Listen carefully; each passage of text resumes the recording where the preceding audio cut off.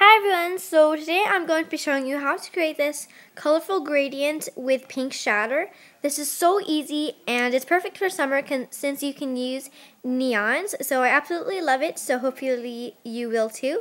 So if you're interested, just keep on watching. So first apply a base coat and then paint your nails one coat of white. This will just help the colors that we're about to put on stand out brighter.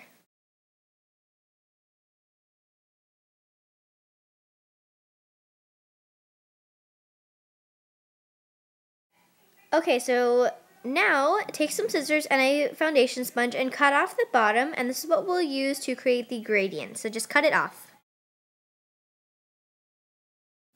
So now using the flat part of the foundation sponge, I'm going to be um, using four colors. The first one is a glittery neon turquoise and I'm just going to be putting it on there and then I'm going to be using orange and you can use yellow instead I'm just using orange. And then you're going to be using a neon lime green. And then an indigo purple color. And because this is a sponge, it will get soaked up. So I'm going to be applying a second coat to all of them to make sure that they're still there and not all soaked up.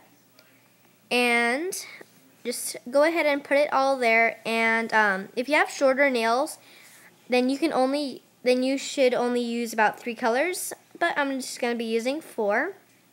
Then, after that's done, dab it onto a piece of paper once or twice, and then start dabbing it onto your nail to create the colorful gradient. And don't worry about any polish getting onto your skin, since we'll remove that in a minute. So just keep dabbing it until it's very opaque.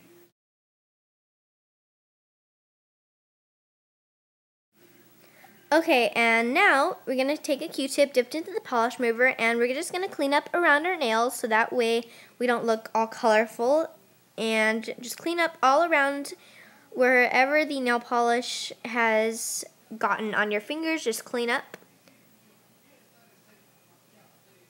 And try to get it as clean as possible, just like this. And then we can move on to the next step.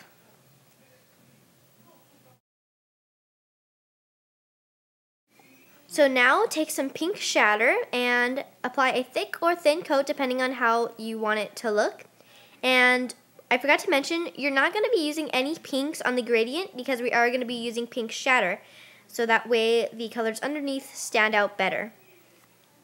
And wait for it to crackle. And finally, apply a top coat to protect your design from chipping away. And also to provide a shine to the crackle since it's kind of matte. And that's it. I hope you enjoyed this tutorial. Don't forget to subscribe, comment, or rate.